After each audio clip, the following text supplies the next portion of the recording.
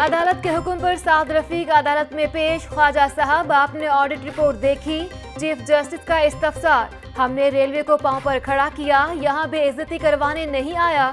شاباش لینے آتا ہوں، آگے سے ڈانٹ دیا جاتا ہے۔ سعد رفیق کا جواب۔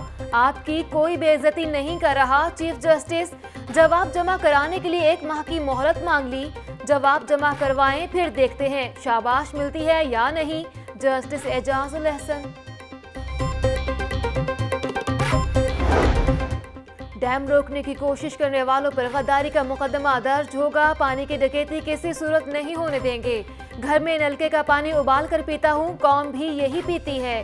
چیف جسٹس کے منرل واٹر بنانے والی کمپنیوں سے متعلق از خود نوٹس کیس میں ریمارکس۔ منرل واٹر بنانے والی تمام بڑی کمپنیوں کے سی ای اوز کل گیارہ بجے طلب۔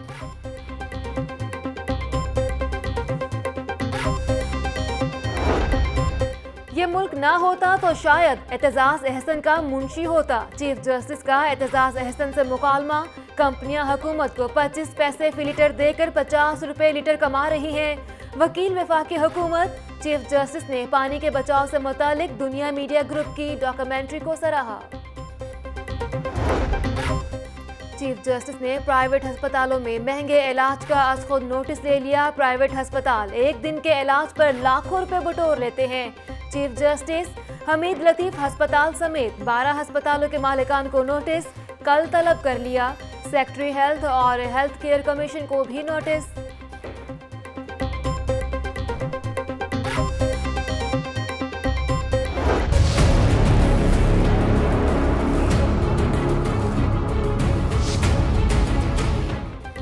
غریب ملک کے امیر بیوروکریٹ چار سو تین ارب روپے کی سرکاری زمین پر افسر شاہی کی موجیں، آٹھ ہزار نو سو پچہتر کنال زمینوں پر عالی شان سرکاری بنگلے۔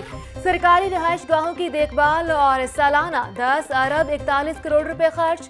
ایک آفیسر ماہانہ دس لاکھ سے پچپن لاکھ میں پڑتا ہے۔ اے این ایف کی شہدارہ میں بڑی کارروائی، منشیات کی بڑی کھیپ پکڑ لی گئی، کروڑوں روپے کی پچاسی کلو ہیروین اور چرس برآمد۔ ملزم عمران علی بھی گرفتار، منشیات گاڑی کے خفیہ خانوں میں چھپائی گئی تھی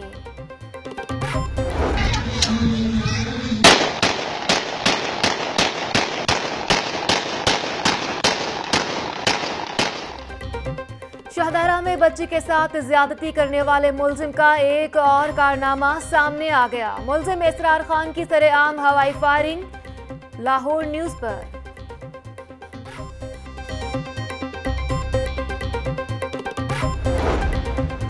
جنہ ہسپتال میں ڈاکٹرز اور مریضوں کے لواحقین کے درمیان جھگڑے کا معاملہ سی سی ٹی وی فوٹیج سامنے آ گئی۔ فوٹیج میں ڈاکٹرز کو مریضوں کے لواحقین پر تشدد کرتے دیکھا جا سکتا ہے۔ سینٹ ضمنی الیکشن گیارہ امیدواروں کے کاغذات نامزدگی منظور۔ پی ٹی آئی کے اعجاز چودھری، ظہیر عباس کھوکھر، عمر سرفراز چیمہ کے کاغذات نامزدگی منظور۔ لیگی رہنماؤں میں خواجہ حسان، حافظ نعمان اور مہر اشتیاق کے کاغذات نامزدگی بھی منظور۔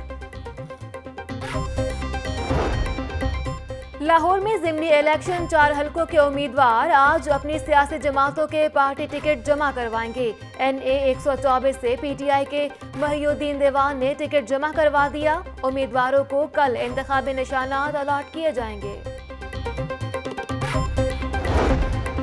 جاتی عمرہ میں فضا سوگوار۔ تعزیت کے لیے لوگوں کی آمد کا سلسلہ جاری۔